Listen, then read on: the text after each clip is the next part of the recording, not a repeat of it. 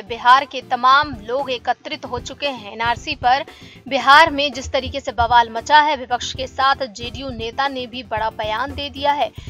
बिहार विधानसभा के शीतकालीन सत्र के तीसरे दिन विपक्ष ने एनआरसी के मुद्दे को लेकर सत्ता पक्ष पर आरोप लगाए और जमकर हंगामा किया। हंगामे के बीच जदयू नेता खुर्शीद आलम ने एनआरसी का समर्थन किया और बड़ा बयान दिया। जदयू नेता और बिहार के अल्पसंख्यक कल्याण मंत्री खुर्शीद आलम ने एनआरसी का समर्थन करते हुए कहा कि जो भारत के रहने वाले नहीं, उनको भारत में कैसे रहने दिया जा सकता है? क्या हम पड़ोसी मुल्क के अवैध लोगों को भारत में रहने की इजाज़त दें? जो बाहर के हैं, उनको बाहर जाना पड़ेगा। जदयू नेता के इस बयान से बिहार में सियासी सरगर्मियाँ तेज हो गई हैं। ये वही खुर्शीद आलम हैं, ये वही खुर्शीद आलम उर्फ़ फिरोज अहमद हैं, जो कि वर्ष 2017 में सरकार के विश्वास मत के दौरान विधानसभा में जय श्री राम के नारे लगाकर चर्चा में आए थे। वे अपनी बेबाक राय देने के लिए भी जाने जाते हैं। किशनगंज से किशनगंज से एआईएमआईएम के एकमात्र विधायक कमरुल होदा ने एनआरसी मुद्दे पर कहा कि इसे बिहार सरकार लागू करे। एनआरसी किशनगंज में कोई भी घुसपैठिया नहीं है, कुछ नहीं मिलेगा। वहीं इस मुद्दे पर भाकपा माले और राजद ने जमकर हंगामा किया और एनआरसी वापस लेने की मांग की। आरजेडी और वाम दल ने कहा कि इस मुद्दे पर हम कार्य स्थगन प्रस्ताव लाएँगे।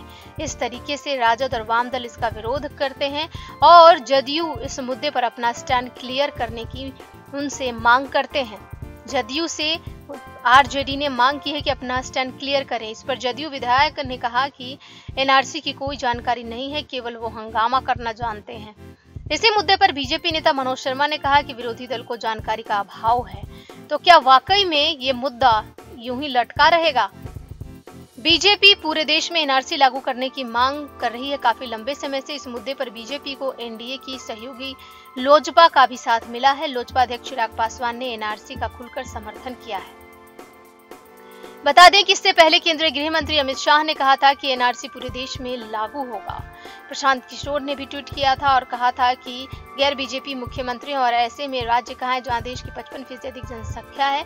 आश्चर्य है कि उनमें से कितने लोगों से एनआरसी पर विमर्श किया गया और कितने अपने अपने राज्यों में इसे लागू करने के लिए तैयार हैं। इस पर पलटवार करते हुए केंद्रीय मंत्री गिरिराज सिंह ने कहा कि सहमति और आम सहमति का क्या सवाल है? एनआरसी से उन्हें निकाला जाएगा जो अवैध है। और इसी मुद्दे पर लगातार हंगामा जारी है। जमकर आज भी हंगामा हुआ है। विपक्ष ने सवाल पूछे हैं। विपक्ष के साथ ही जेडीयू के भी बयान सामने आए हैं। नेक्स्ट नाइन भोजपुरिया के लिए शशि प्रिया सिंह की report. Next nine news Bhojpuriya के सब्सक्राइब करें। और लेटेस्ट अपडेट खातिर बेल के आइकन वाला बटन दबाएँ।